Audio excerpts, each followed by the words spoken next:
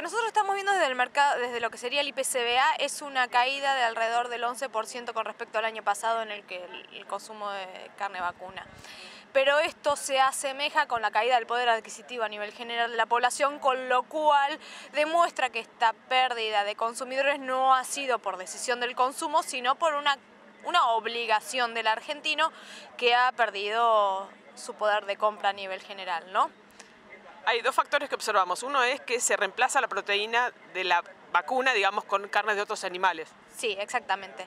Eh, pero eh, eso tiene una, paradoja, ¿no? Porque la carne, por ejemplo, la carne aviar aumentó muchísimo más, casi el doble de lo que aumentó la carne vacuna en este último tiempo, pero en la mente del argentino ve la sustitución de estos alimentos como un alimento mucho más barato, con un mayor rinde, lo cual no tiene por qué ser así, pero sí eh, hemos visto que la canasta proteica cárnica en los últimos 18 años, para decirlo así, ha aumentado en 17 kilos generales, pero esa composición ha ido mucho más a favor de las carnes sustitutas, que sería carne aviar y carne porcina, eh, y no tan favorable a lo que es la carne vacuna. ¿sí? Según nuestros estudios, eh, el 14% de la población argentina es vegana o vegetariana. Este índice se ha ido incrementando con mucha más eh, velocidad en los últimos cinco años, para decirlo algo así, y la prensa y las redes sociales y las nuevas generaciones tienen mucho que ver. ¿sí? Eh, nosotros desde el IPCBA tenemos que resaltar y educar al consumidor de carne todos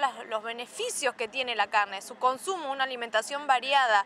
Somos mamíferos, necesitamos de la carne.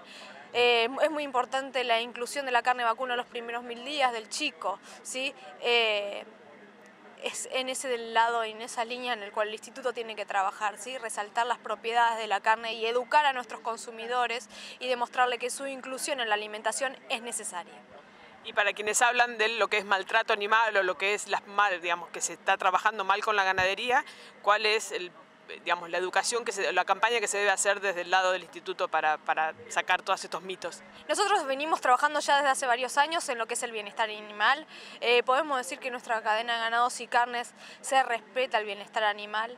Eh, los animales... Eh, desde su, desde su inicio de lo que es la producción primaria, se mantienen todo lo que serían los tratados internacionales con respecto al bienestar animal, lo cumplimos, los promocionamos, les hacemos, los hacemos llegar a lo que es el productor, porque es muy importante que el productor entienda que además de ser un ser vivo, es, eh, un, merece ser bien atendido a nivel general y una buena, una faena eh, correcta cuando ya el animal pasaría a, a la faena, ¿sí?